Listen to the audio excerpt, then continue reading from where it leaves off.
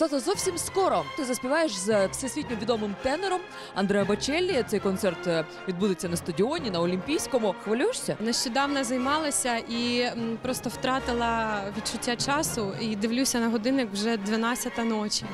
Я думаю, сусіди мене просто проженуть вже. З власного будинку. Спочатку ем, йшла розмова тільки про одну пісню, дуетну, а потім мені висилають ще ноти і ще. І в результаті я буду співати десь чотири взагалом композиції. Тобто ти так сподобалася Андреа Бачеллі, що тепер ти будеш співати і співати на його сольному концерті. Я не знаю, правда. Я, е, я реально хвилююся, тому що це такий досвід для мене вперше. Я навіть цього літа в Італії поїхала туди, куди Андрея народився, щоб надихнутися. Це Тоскана, він там народився.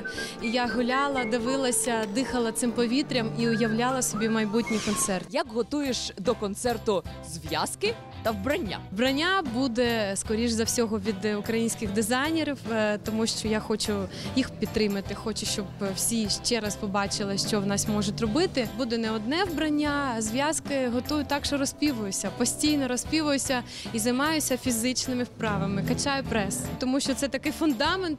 Ну мені це допомагає. Можливо, хтось не качає прес, але я зрозуміла, що я без цього не можу співати. Мені треба постійно бути в формі, качатися. Чи не боялися в Італії під час відпочинку, який тривав цілий місяць, зіпсувати фігуру? Паста, піца, стільки навколо спокус. Я в Італії реально цього літа їла все: і пасту, і лазанью, і різото. Але я дуже багато плавала, багато подорожувала, каталася на велосипеді. Дуже багато ходила пішки. До речі, я в день могла пройти в телефоні. в мене є програма така: 21 кілометр.